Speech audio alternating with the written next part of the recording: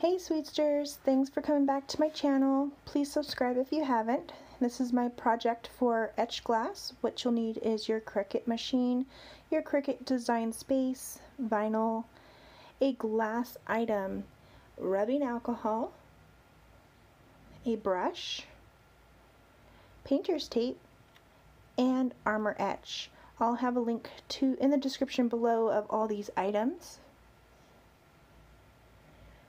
Please like and subscribe as well. Thanks guys. So on my design space I have the Dodgers logo. I also put my Jessica Sweets logo on there too as I want to add that to the bottom of the glass. So right now I'm just going to go ahead and stick the vinyl onto the mat itself. I want to make sure that it is on there pretty strong so I don't have to worry about it coming up in the machine. I'm going to go ahead and complete the steps needed on the design space.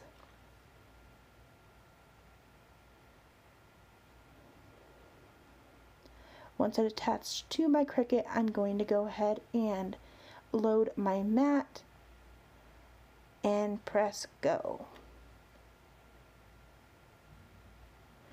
Now this I'm going to speed up for you because it does take some time to go through all of this um, cutting and you can kind of see on my little Jessica Sweets logo, it was a little too small, so it kind of messed it up. We're going to go ahead and see how well it is at the end. I may not use this one. I may just go ahead and try it again later. Here you can see the cutout of the Dodgers. Now let's go ahead and remove the vinyl. I like to turn my mat upside down and peel. That way the vinyl doesn't roll up while I'm peeling it off.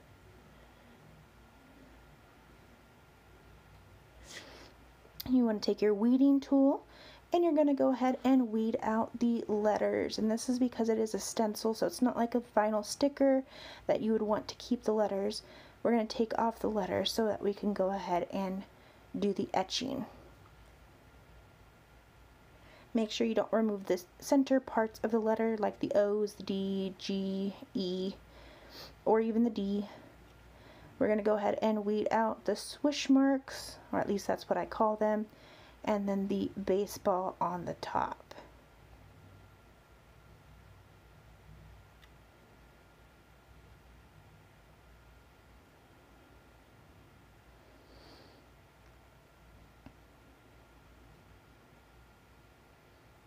Now sometimes this takes time, but just be patient.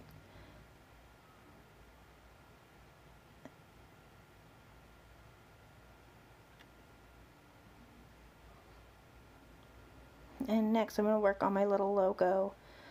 Um, I'm not really liking the logo very much. It didn't come out, it kind of started peeling off. So I'm pretty sure I won't use it, but let's go ahead and just kind of play with it a little bit. Yeah, it takes everything off. No, we're going to go ahead and scrap this piece. I'll go ahead and try another one later, maybe a little bit bigger. So what I'm going to do is I'm going to go ahead and cut out the stencil, I want to do a little bit extra than the square that I have. That way the square itself is going to be the stencil. We're going to weed out the outline.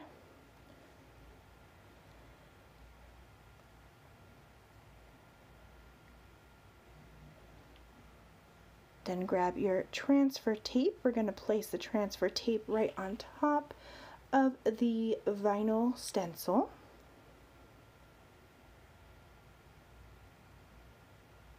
And use your tool to make sure that it sticks very well onto the transfer tape. Grab your glass. Now with the glass I did clean it with the rubbing alcohol so that it's very clean, no fingertips, sorry, fingerprints or oil. Now we're going to peel off the backing of your vinyl. Keep this piece, we'll use it later in the tutorial. And again, be careful for all the little letters and the inside parts that we don't want to have removed. Those are very important for the design.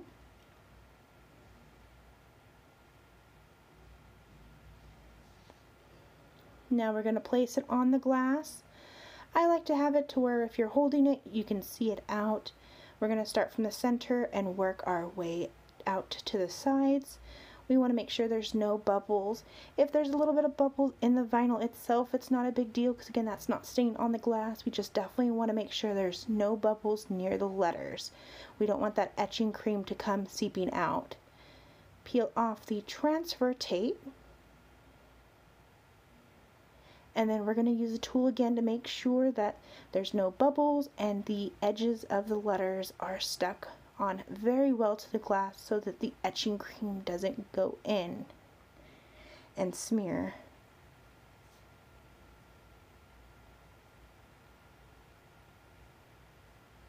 Here's the etching cream. Now at this time I should have put painter's tape on the um, vinyl itself and you'll see why in a little bit. But let's go ahead and put six minutes on the clock. We're going to go ahead and dab some etching cream all over the stencil and on the letters.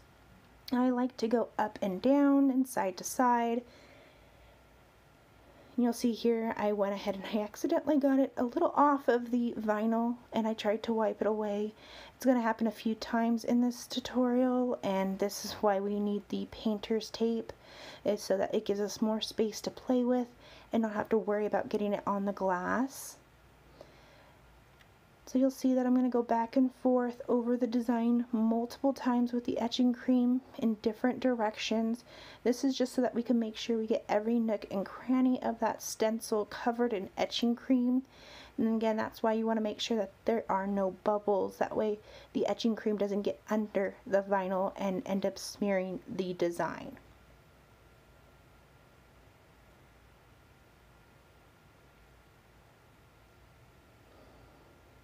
You're going to want to repeat this process continuously for those six minutes.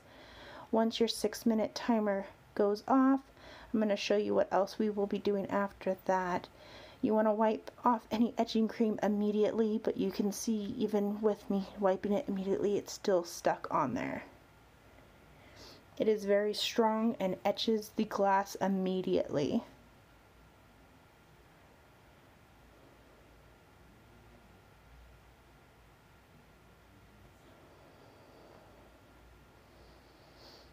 Keep reapplying until that six minutes is up. Now this is fast forward, so we're not going to actually sit here for a full six minutes um, putting this cream on. However, you just want to make sure that it's fully, fully covered.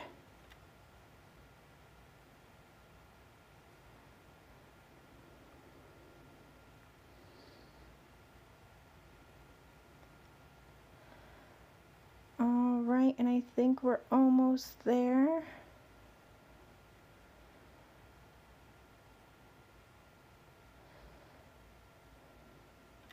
So while you're watching, if you guys can be so great and like this video and also hit the subscribe button. That way you can get updates on all our upcoming videos that I'll be posting soon. You can also leave me a comment down below on what DIY projects you would like me to do next.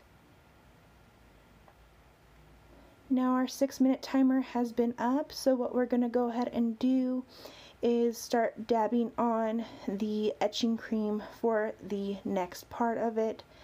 Um, just dab it until you don't see the letters anymore. Here's my 30 minutes on the clock. And don't worry, this isn't a waste of product. Later after this 30 minutes, we'll go ahead and put it back into the container and just dab, dab, dab.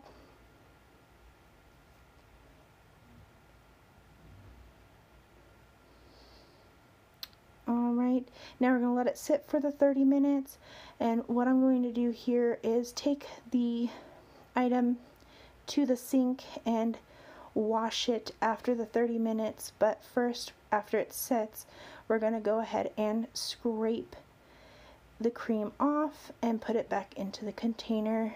Scrape and put it back into the container. And then I also use the backing of the vinyl stencil that I made to help scrape off a little bit more. Again, more is better when you're putting it on and you want to try and get as much of it off so that it lasts longer for future projects as well. Now that that's done, let's go ahead and take it to the sink. I'll be right back with the washed cut.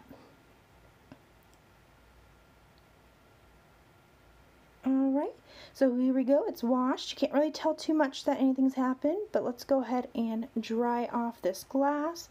Make sure there's no water. Then we're going to slowly peel off the vinyl. Be very careful again, but again, you don't have to worry as long as it's fully washed, nothing's going to smear.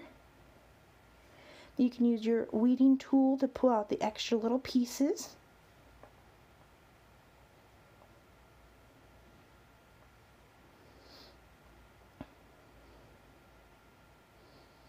Man, I really like this design. I think my boyfriend's to really love it.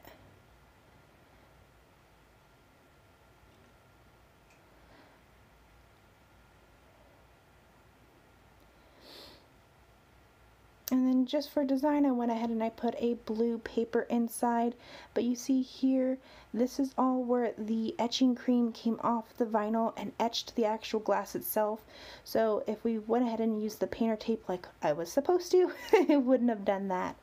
And here's the finished product. Thanks guys, I hope you really enjoyed it. Again, please like and subscribe to my channel and follow me on my social media sites as well. I'll have the links all down below in the description. Thanks, guys. Have a sweet day.